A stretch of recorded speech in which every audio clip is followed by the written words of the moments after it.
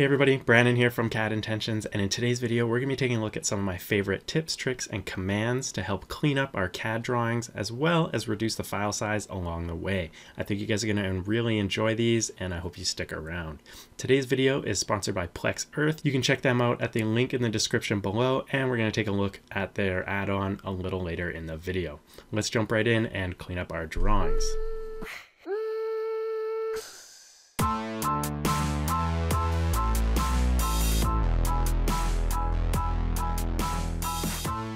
All right, so the first tip and command to help clean up your drawings is W block.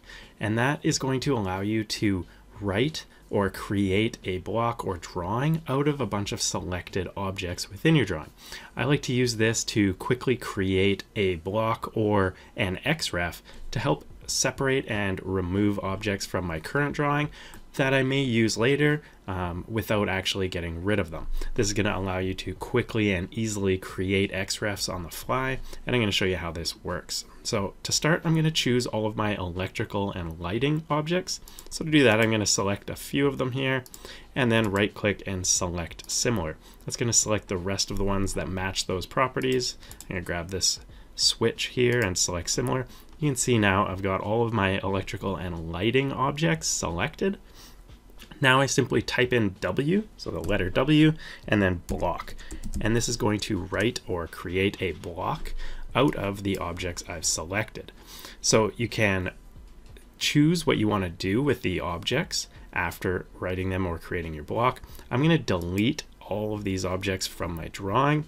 You can leave the base point at 0, 0. This is going to keep the same location based on the reference point 0, 0. So if I xref this objects back into this drawing, it's going to show up in the right or same place. Um, you can see the source of what I want to write. You can choose between the entire drawing, that'd be everything in this drawing, a single block, or the selected objects. Now all you need to do is choose a location, and I'm going to add this to an XREF folder here I've got. So I'm going to click these three dots, paste in my path, and hit save, and then I can just call this say xref dash elec or electrical. Hitting enter is going to leave that dialog box and then hitting OK is going to write my block or create my xref file. You can see that all that electrical has been now been removed from my drawing, cleaning it up and keeping it clutter free. This is also going to reduce drawing size in general by splitting out your drawings into the necessary components and creating an xref for each one. Then you can simply add and remove xrefs or external references as you need them in your drawing. To add one, simply click the Insert tab up top here. You can click this fly out here to open up your XREF uh, manager or palette. And then I'm going to right click and attach a drawing.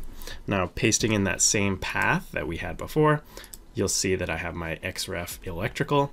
You can choose to open it. Now you can attach it. And I'm sure you know how to attach an XREF. If not, I've got videos on that as well. Uh, we're going to just keep all of these settings here default, inserting it at 0, 0 and at a scale of 1. Doing that's going to place all of our electrical just the same way it was, but it's removed those from our drawing so they're separate in a new file and not taking up a lot of space in this one. Another tip I'll typically give to newer designers or those looking to reduce file size and load times is to make sure you've cleaned up your external references list here.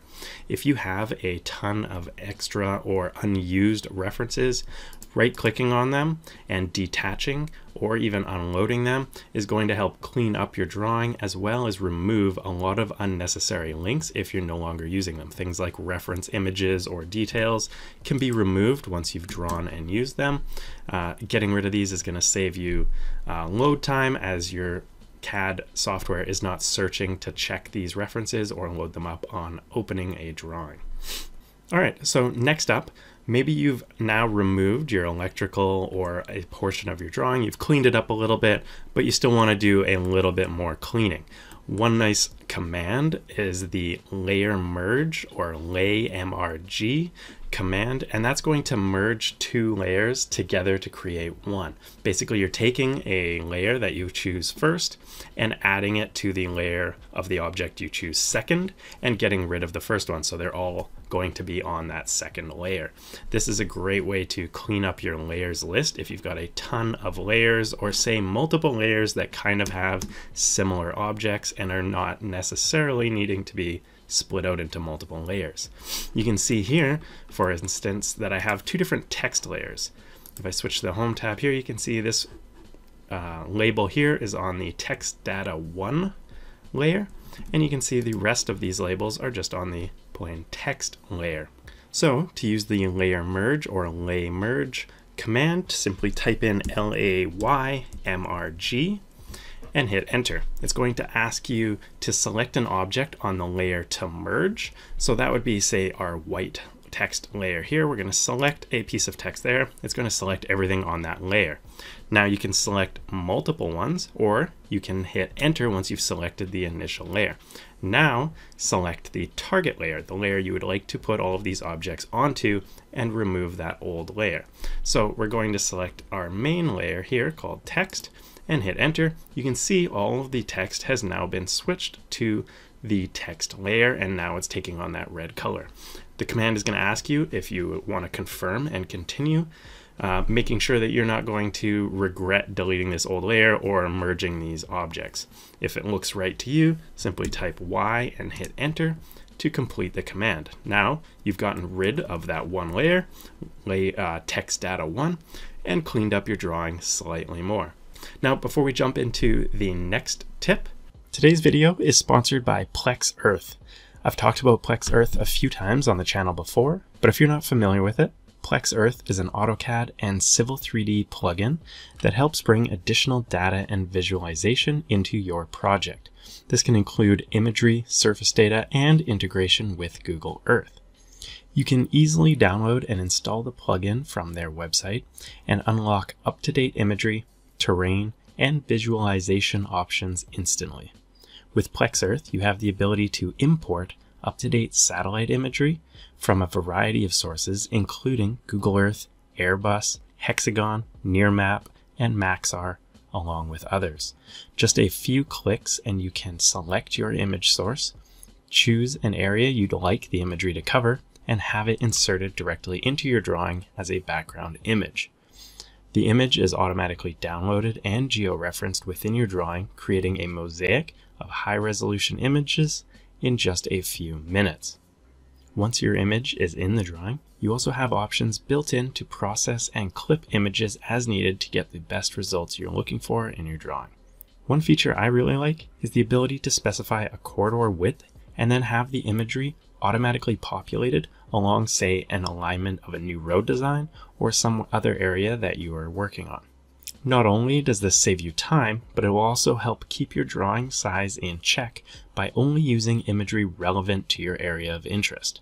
Having up-to-date imagery can be a game changer for project design, especially in early phases where you may need to quickly design a concept that can be integrated and work with existing features of an area without the added costs of a full survey or getting imagery flown specifically for your project.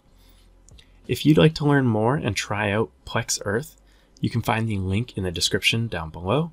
And if you're one of the first five people to click the special offer link, you can get two months of Plex Earth Pro subscription completely free. As a special promotion for CAD Intentions viewers, I highly recommend you guys check it out.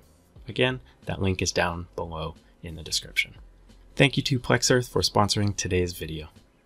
Next up is the overkill command. I'm going to type that one in. It's over and then kill, K-I-L-L and you can see it's asking you to select objects. Now what overkill is going to do is find and delete duplicates or copies of objects that are completely on top of each other, ones that you can't tell you have multiples of, but a lot of times you're going to get these over the course of a design project. Sometimes it's by copying things too many times, sometimes it's from exploding or drawing lines and then they get lost behind other lines that are no longer necessary. So overkill is going to just help clean and tidy up your drawing and remove all those unnecessary duplicates. So I'll type in overkill and then I'll type enter. And then when it asks you to select objects, you can select with a crossing window everything in your drawing. You can also type in all and hit enter to select all of the objects in your drawing. You can see in the command line, it's giving you stats, 195 objects, were found, 62 are not in the current space. That means they are likely in your paper or layout spaces. You can hit enter to activate the dialog box, and from here you can delete duplicate objects. You can select your tolerance. By default, it's very, very small, which basically means that it needs to be the exact same line on top of another line in the same location. Uh, you can also get it to ignore specific colors, layers, line types, depending on what you've selected. And then you can also choose some of the optimization options like optimize segments within polylines, looking for little broken pieces. Uh, you can combine collinear objects that partially overlap. That would be multiple lines that you probably meant to be a single line but got broken up or exploded at some point uh, as well as objects that touch end to end, it'll join or combine those when possible. Hitting OK is going to go through your drawing and remove any of those duplicates. You can see down at the bottom that it found eight duplicates and three over overlapping objects that were all deleted. Now this isn't going to be a super noticeable uh, update or change to your drawing typically, but it is going to clean it up. It's going to reduce errors and issues later along and it's going to slightly reduce that drawing size, especially if you have a ton of, say, extra blocks that got copied or accidentally left in the background somewhere or off in another area. Those duplicates are all going to get cleaned out easily and quickly with a single command. All right, so next up is probably one of my favorite and most used commands, and that is the purge command. Purge is going to flush or purge your drawing of everything unused and unnecessary. This would be blocks that were loaded in from your template by default, layers that you loaded in by default from your template, line types, text styles, all of that is going to get removed from your drawing and cleaned out. So this is going to clean your drawing completely, and this is something you want to do when you're near the end of a project or you're going to send a file out to say a client because it's going to get rid of everything that's not necessary to the objects and drawing you've created. So simply type in purge and hit enter. By default, you're going to be able to see all of the purgeable items. And these are objects that are unused so say blocks that are unused, you can see there's a bunch of them here, light switches and furniture sometimes. Uh, you can see all of the layers that are unused. And these are just the default layers from my template. These have all been brought in and are going to get removed. You can also see, say, table styles that are unused, text styles that are unused. This can all be selected from the top here by just choosing this check mark. You can see everything is now checked on and it's going to remove everything that you don't need. You can also simply just click purge all, which will be the typical uh, option at the end of say a drawing cycle where you're going to send this out. Purging individual ones is also possible. You can simply check on the ones you'd like to purge and click purge checked items. You can also uh, uncheck or check if you'd like to confirm each item to be purged. I'm going to uncheck that this time, but I am going to purge nested items. That would be, say, items in blocks inside of blocks and that kind of stuff. You can also purge and remove zero length geometry or orphan data. That would be stuff that would be connected to something that was deleted or removed. So I'm going to click purge all. You can see everything here was removed. I'm going to close it and now when we open up our layer list, you can see that almost all of those layers have been removed. You can see the XREF layers are still there, and any layer that has objects on it still is still in our drawing.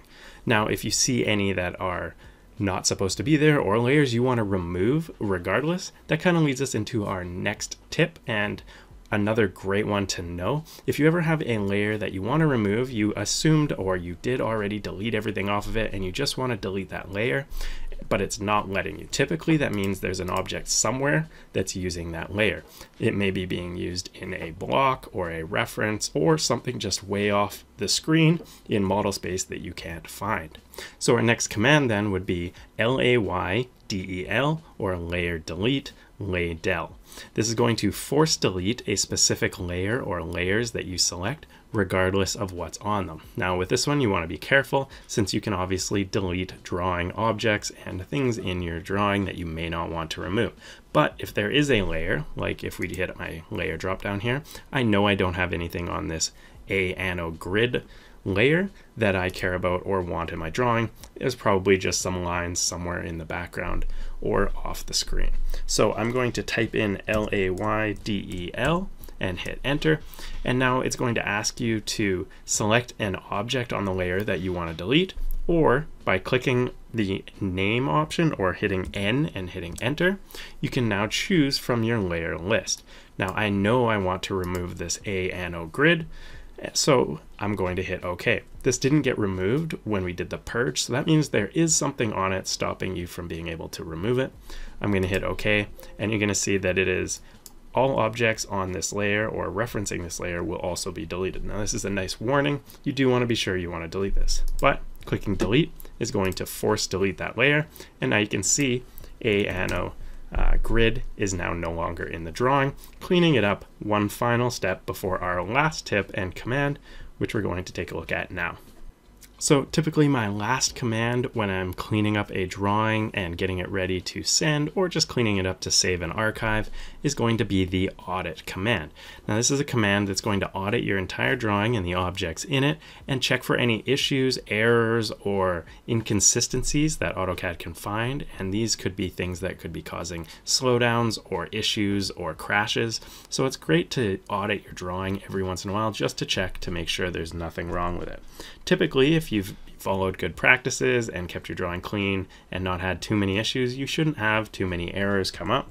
But typing in audit, A-U-D-I-T, and hitting enter is going to ask you if you'd like to fix any of the errors that it detects.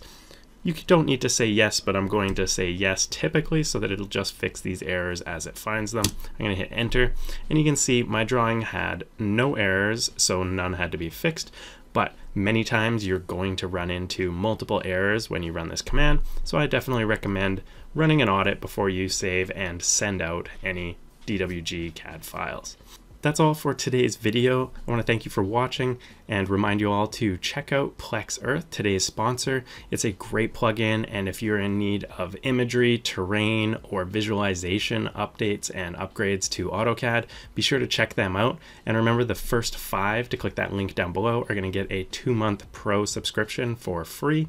Again, that's Plex Earth, and you can check them out at the link in the description down below.